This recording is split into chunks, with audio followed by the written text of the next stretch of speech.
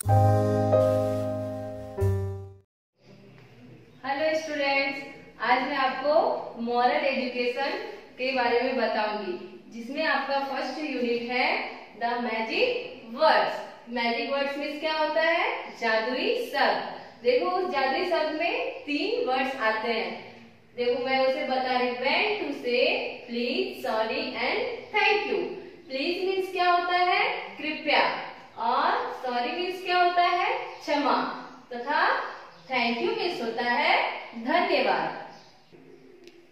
जैसे मैंने आपको बताया when to say please sorry and thank you ये ऐसे तीन जादुई वर्ड है जिसे हमें प्रतिदिन अपने प्रयोग में लाना चाहिए, चाहे वो छोटा हो या बड़ा। जैसे कि मैंने यहाँ पे कुछ वर्ड सेंटेंस लिखे हैं, उसके माध्यम से मैं आपको बताती हूँ।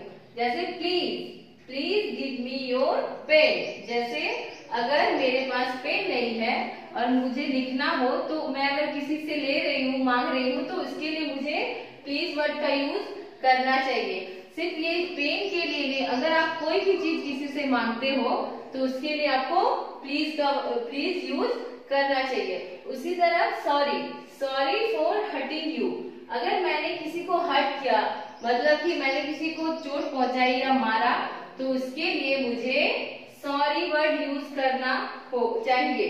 अब उसी तरह thank you thank you for your gift अगर किसी ने मुझे कोई उपहार दिया तो उसके लिए मुझे थैंक यू वर्ड यूज़ करना चाहिए। अगर आपके पास बुक पढ़ने के लिए नहीं है और किसी दोस्त ने आपको बुक दिया तो उसके लिए आपको उसको धन्यवाद बोलना चाहिए।